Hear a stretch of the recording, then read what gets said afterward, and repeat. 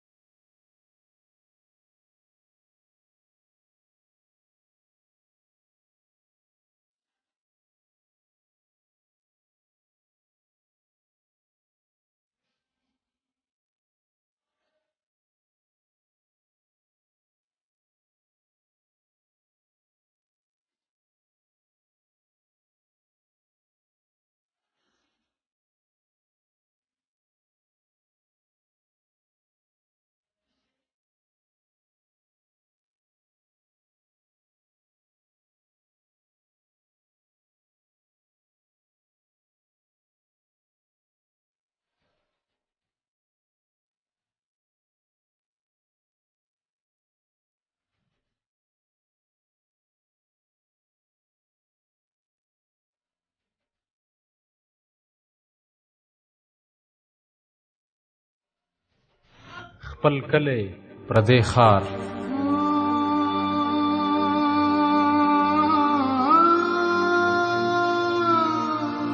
د ښار د شوره د لوګو چې تنګ شم د کلی غېږې ته ځان ورسوم سر شم په پولو په پټو د کلی د فطرت غېږې ته ځان ورسوم سر ورته کېږ د مجولۍ کې غلې چې د مور غېږې ته ځان ورسوم